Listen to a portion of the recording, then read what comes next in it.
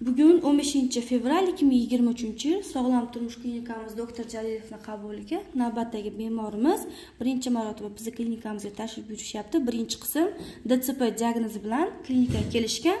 Qanday o'zgarishlar? Marhamat. Assalomu alaykum. Biz buxoro viloyati vobkent tumanidan kelganmiz. Qizimni ismi hamidova shirina dcp kasalligi bo'yicha og'rib qolgan. Biz o'zimizda buxoro viloyatida davolatganmiz. Toshkentga keltirib davolatganmiz. Uncha natija sezilmagan sog'lom turmush klinikasi doktor jalilovni youtubedan ko'rib keldik.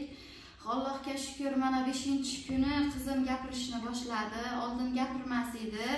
Tonuslari baland edi. Hozir tonuslari tushgan. Mana qo'llarini oyoqlarini bemalol ishlatyapti.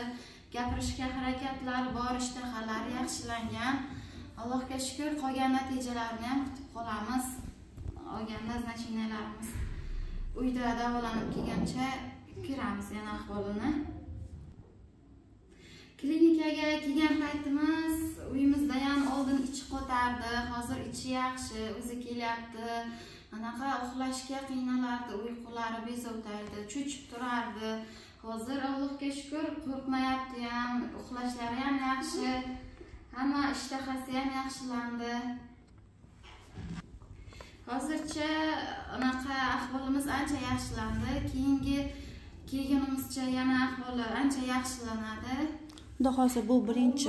Xudo xohlasa bu birinchi kelishimiz ikkinchi kelishimizda ham natijalarni aytib o'tamiz. Boshlanishiga natijalar zo'r. Boshlanishiga natijalarimiz ancha yaxshi kutganimizdan ancha yaxshi. Rahmat opa. Bizni kuzatib turgan hurmatli obunachilarimiz shu shirinaxon qizimizga allohdan shifo so'rashlarini tilab qolamiz. Tezroq tuzalib tengdoshlarini qatoriga yetib borsin. sog' bo'ling salomat bo'ling. Shu qizimizni e, taqdiri bilan e, kelgusidagi natijalar bilan kuzatishda davom eting qiziqing rahmat.